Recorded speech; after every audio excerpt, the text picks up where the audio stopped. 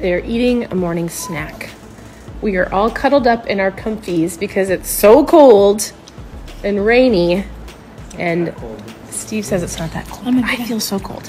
We got done with one dentist appointment, then we've got another one here soon. We've got so many amazing things today. We're eating some pepperonis and having a comfy, cozy morning.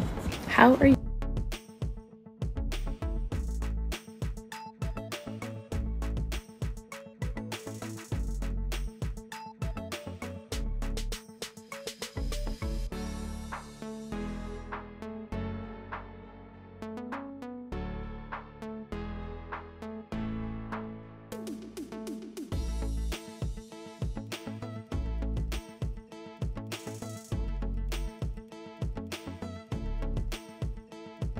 Annie, what are you doing in my bed? Math.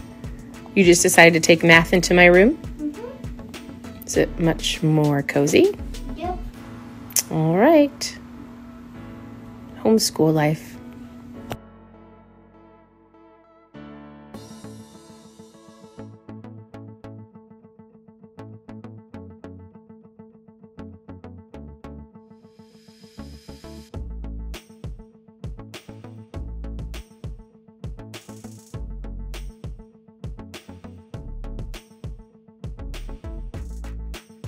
All right, we're on a hot date.